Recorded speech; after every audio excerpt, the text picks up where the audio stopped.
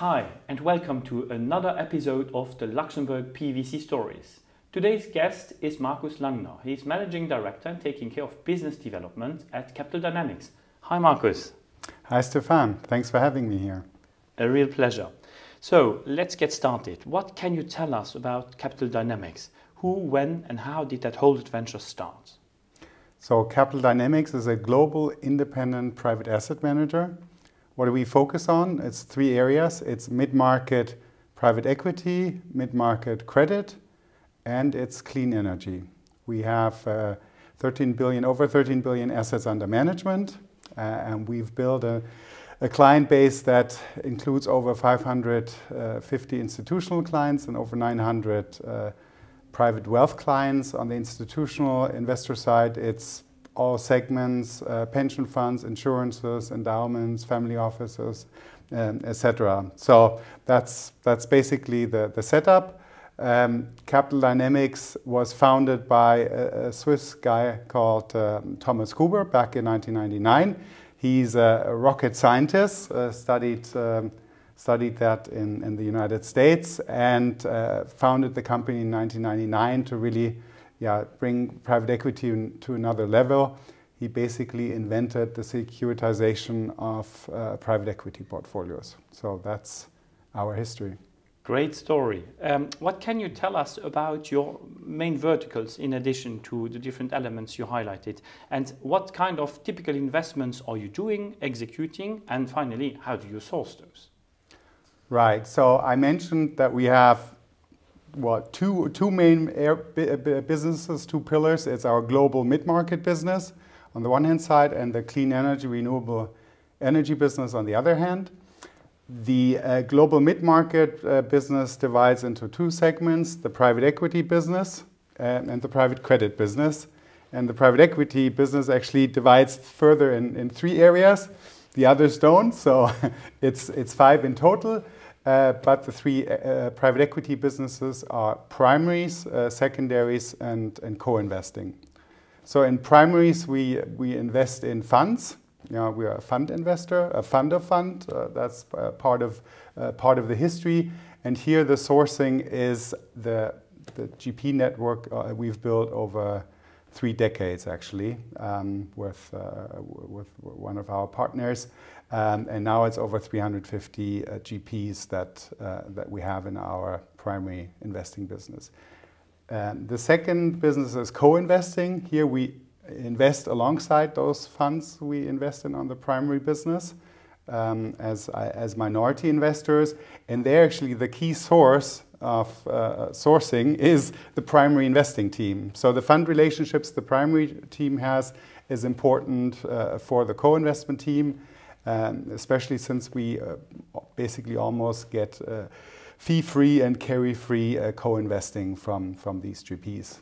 That co-investment team has its own uh, uh, sourcing uh, network, of course, but the primary business is a key element. And then the third pillar of the, the, the private equity business is secondaries.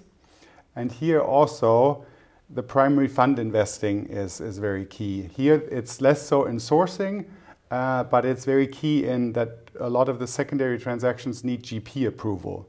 And since we have this relationship with 350 plus GPs, we are a preferred buyer in, in secondary uh, uh, transactions. The sourcing is typically done via intermediaries in the, uh, in the uh, secondary business, although there are also a good number of proprietary transactions from GPs, from LPs. Um, so secondaries has, has really a wide uh, uh, sourcing angle.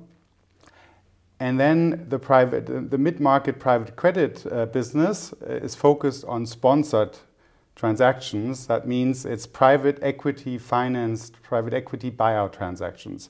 And we do that in the US lower mid-market. And again, here is a nice synergy with all of the private equity businesses because it's these same 350 GPs that we work with on primary, secondaries, on co-investing on the, uh, on the private equity side. We also work with on the private credit side. Finally, on the uh, on the credit, uh, sorry, on the clean energy business, it's a slightly different uh, uh, business. There, we are a direct investor. We own 100% of the assets, And here our key approach to sourcing is that we have uh, exclusive uh, relationships with developers of renewable projects, and through those we, we, source, uh, we source those projects.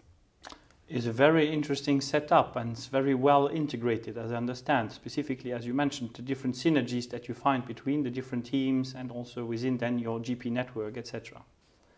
Absolutely. Great. Markus, uh, can you tell us what happened at Capital Dynamics over the last two years? So yeah, a lot has happened in the last two years. Uh, uh, uh you know, very very challenging environment. I'm personally uh, uh, involved in, in business development, so that's sort of my you know, special view of the business. So I'll just tell you a perspective of that. And actually, fundraising has been very good over the last two years. So if I just go through the verticals I've just talked about. If we start uh, from the left, from, from my view uh, perspective, private equity uh, primaries, uh, we've just recently uh, uh, closed a private equity fund of fund focused on the, the German-speaking region, a very ESG-focused fund at, at, its target size. Um, moving on to the co-investment business, we've just recently uh, closed our co-investment fund above the target, uh, which was 500 million at 580 million. And uh, by the final close, the performance of the fund has been tremendous. Uh, we've started, uh, we're lucky that we started investing uh, after the outbreak of COVID. So my co-investment colleagues sort of looked at what was happening, thought about it, and then sort of selected industry sectors that would be winners uh, um, uh, going forward. And that has turned out to be the case, and, and the performance already at, uh, at final close was fantastic. So, um, as you can see, it's been uh, busy for us uh, and, and uh, yeah obviously all of this money needs to be invested well across these different strategies always good to hear and also specifically to underline the resilience of the sector and then specifically your activities. Um, as we all understood, you mentioned many times ESG. Uh, we certainly assume that you have an ESG policy and strategy. Uh, how important is that for your group? Yeah, so we have had an ESG policy um, and strategy for a, long, a, long, a very long time. We're actually one of the early signatories in the private asset industry in 2008 um, you know, we think that's uh, early. For, and uh, ESG is uh, at the heart of what we do. So we, we, we really want to be at the forefront of, of, of the ESG development. Uh, so we believe that responsible investment actually leads to superior uh, long-term uh, financial returns. and it also brings a closer alignment of objectives between investors, stakeholders, and the, the wider society at, at large. Um, we believe the benefits of responsible investment include three elements. The first one is a risk reduction. That's very key, and that was sort of the traditional approach. You know, just don't invest anything that uh, could could be problematic. Uh, it can be a cost reduction, for example, in um, environmental waste savings, uh, gas savings, very, for example, yes. very, uh, very uh, current uh, example. And th uh, thirdly, and we, we see more and more examples of a positive impact uh, yeah, on, on the top line, not, not only on, on, on the bottom line or on risk. Um, so yeah, that's, uh, that has those three, three elements. And we actually developed a, um, an, our own proprietary uh, risk responsible investment um, strategy uh, rating system. It's called RI. Uh, it's a word on you know, abbreviation of RI, and I is the I. I could actually show you the I here.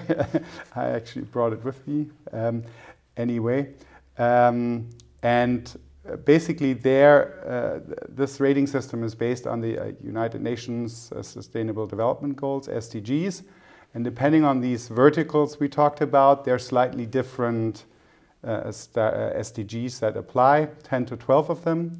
We basically um, use these SDGs in the underwriting process, and that's part of the decision making and map against these criteria if we want to go ahead with this investment or not. Know, there are certainly investments that are then uh, not moved uh, uh, uh forward. Um, and uh, then they're updated and monitored on a regular basis, at least yearly. And what we'd like to see is yes, we want to filter out certain investments at the beginning that are just not, not good. But the more important role of private equity is active ownership. And, and during the time of ownership, uh, you actually want to you know, improve your companies. And therefore, we want to see that this RI rating uh, improves over time. And um, you know, just to, to, finish up, to make this more concretely and, and where we're active, we've been active in a various uh, set of initiatives um, uh, around uh, ESG. Uh, for example, we just joined the, the Net Zero Asset Manager Initiative, and uh, as a result of that, set five-year uh, climate targets for operational and, and portfolio company levels. Uh, we are preparing for the European SFDR, Sustainable Finance Directive regulation reporting. That's a, a major undertaking. We're co-chair of the IIGCC's um, committee, um, the, the private equity committee, not the overall committee, uh, but the private equity focused one on uh, achieving net zero uh, emissions. And we've also partnered with a bunch of or several uh, organizations that help diversity and inclusion now, here in Europe, environmental is more important. In the US, uh, diversity and inclusion is actually uh, quite important. And yeah, and all of this activity has been uh, recognized, for example, by the United Nations uh, Principle for Responsible in Investing. So um, certainly uh, shown that what, what, what we've been doing over the last decade or so is, is getting recognition as well that again is a very passionate engagement, but you highlight also the, uh, let's say, non-financial performance in which you believe, the different reasons why you do it. That's really great. Um, what can you tell us about your operating model and the composition of your team? I mean, globally and in Luxembourg, and certainly, how do you see right now Luxembourg? Right. So the, the global setup I've talked a bit briefly before. So we're 160 people, uh, 14 offices half of them in, in Europe.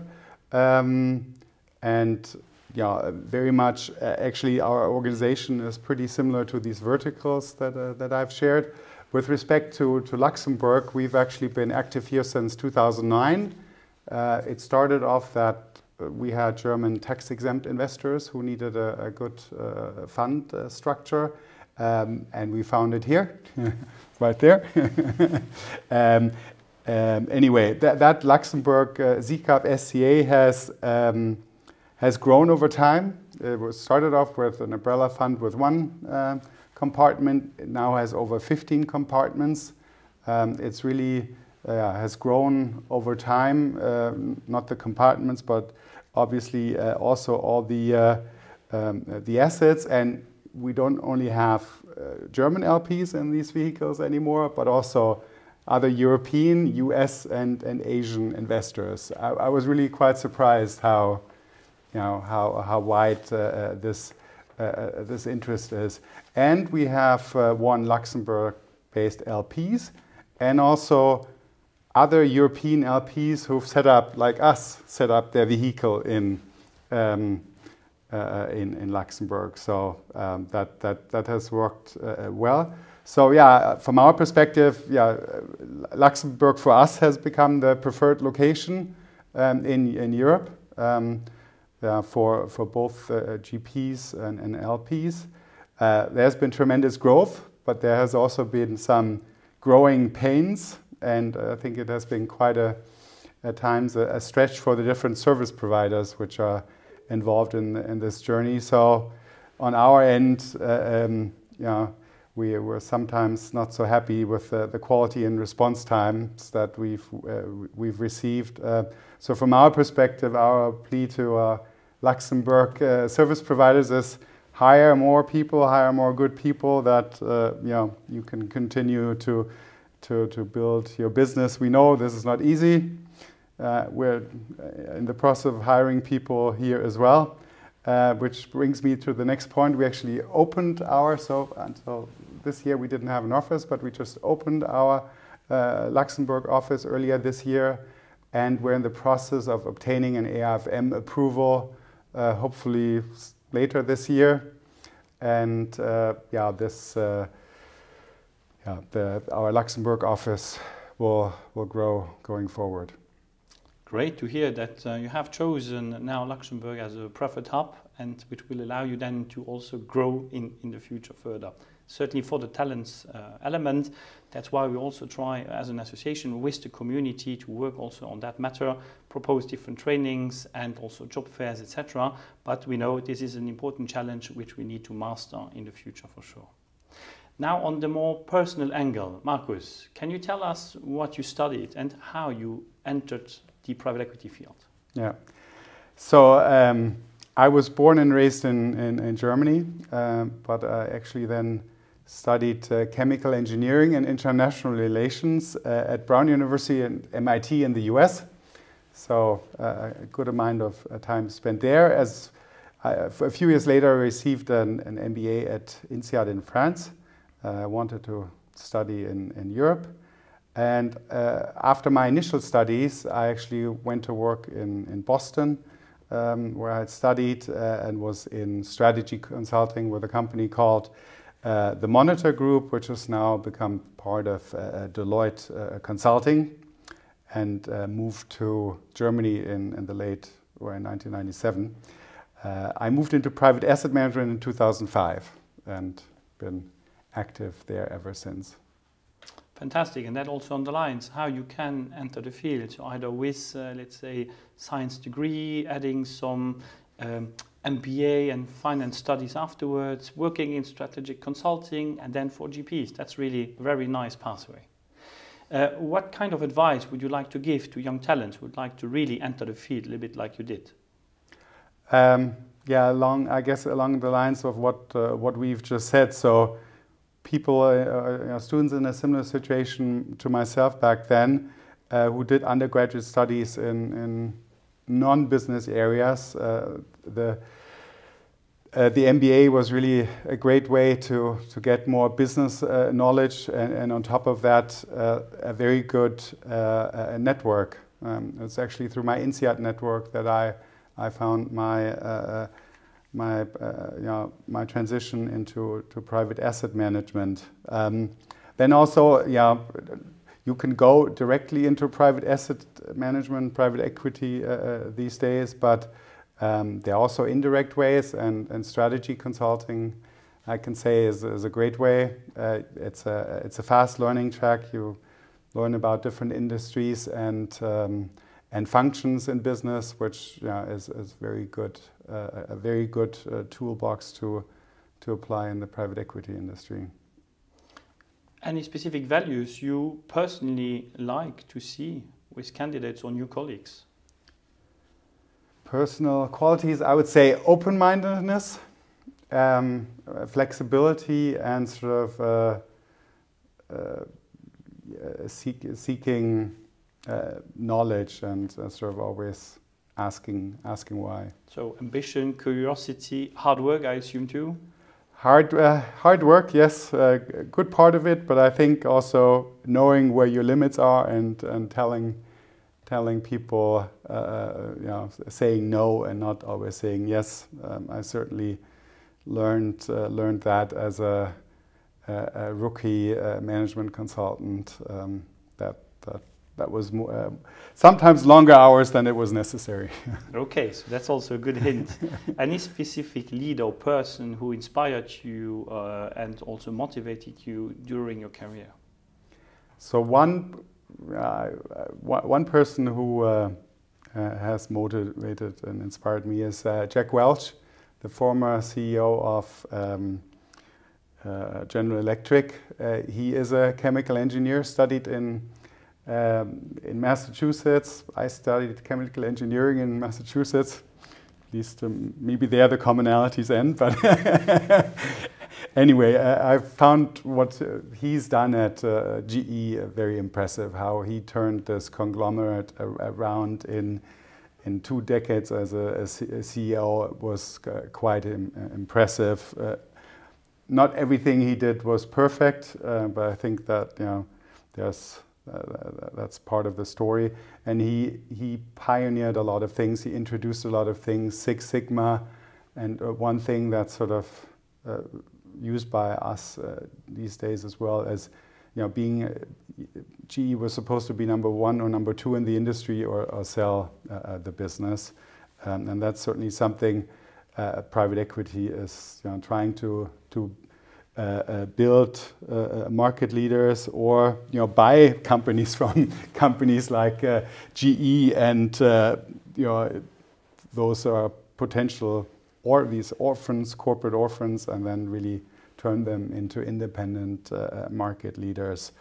Um, so um, I, I, had a, a two-year uh, period at, at, Siemens, and General Electric was sort of the, the company that was looked at. I actually uh, have three colleagues um, in our co-investment team who worked for General Electric uh, Capital um, in the 90s, and uh, they started private equity co-investment then, and they had a numbers, uh, number of interactions with uh, Jack Welch and spoke highly of him.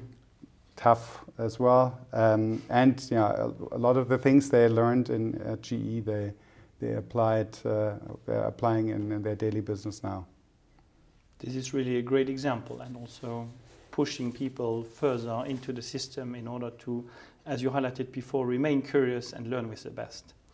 Any uh, last recommendation you'd like to give now on the book side, music, uh, series, podcasts, and in order to share that with our audience? Right. Um, so for the for me, uh, it, it's a, a book. Um, um, it's, it's a business book, so still on the topic, but I think it's, uh, it's, it's really re relevant. I'd like to recommend Pioneering Portfolio Management, uh, first published in 2000 uh, by uh, David Swensen, uh, head of the uh, Yale um, University Endowment. why do I think this is so key? Because it, it has really been a blessing for the private equity business he, because he basically uh, yeah, uh, his endowment or Yale model, as, as it became to be known, really pushed uh, a lot of institutional investors in, or sort of was a key influence in increasing the, uh, the private equity allocation. Um, so, yeah, um, you know, the, he says that you should divide your portfolio in about five to six equal buckets. Uh, they should be uh, broadly diversified into different asset classes you should have an equity orientation rather than a bond orientation. Um, and you should avoid asset classes like bonds, which if you looked at most uh, portfolios, and you still look in a lot of portfolios uh, today of institutional investors, they're uh, uh, uh full of bonds. Fair to say they're driven by regulatory requirements often. But uh, anyway, what the particularly revolu revolutionary uh, recognition was that liquidity is a bad thing to avoid. Before it was always liquidity is good and illiquidity and therefore private assets are not good because you know, liquid gets you things quickly. But liquidity always often means lower returns. And uh, if you can um, if you can live with an liquidity premium, which endowments can, which pension funds, insurance companies can, then um, yeah, uh, then you can get a higher portfolio return, which yeah, he, he has uh, generated. And a key element of, of that was yeah, relying on private equity and on investment managers like Capital Dynamics and other GPs. So uh, we can be really uh, uh, thankful to, to David Swensen and, and his work and the great Yale, Yale portfolio because yeah, it's, it's been a good uh, driver for all of us. So really a great advocate for our industry, really embedding long-term investments and also the value creation process. Great. I think let's add it then to our reading list. Markus, thanks a lot for sharing so many insights with our audience and community. And uh, dear friends of the LPEA, we'll see you very soon for another episode. Goodbye.